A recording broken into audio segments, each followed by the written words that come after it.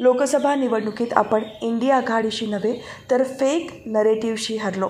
जनमत आपल्यासोबत असतानाही केवळ पॉलिटिकल अर्थमॅटिक्समुळे अपयश आले. त्याचा बदला घेण्याची संधी येत्या सव्वीस जून रोजी चालून आली आहे. विधान परिषदेच्या पदवीधर मतदारसंघातील विजयाने आपण फेक नरेटिव्हचा खात्मा करूया. भाजप सर्वसामान्य कार्यकर्त्याला निवडून आणू शकतो. हा नेरेटिव्ह सेट करूया असे आवाहन उपमुख्यमंत्री देवेंद्र फडणवीस यांनी केले. भाजपचे मुंबई पदवीधर मतदार मतदारसंघातील उमेदवार किरण शेलार यांच्या प्रचारार्थ आयोजित विजय संकल्प मेळावा आयोजित करण्यात आला होता.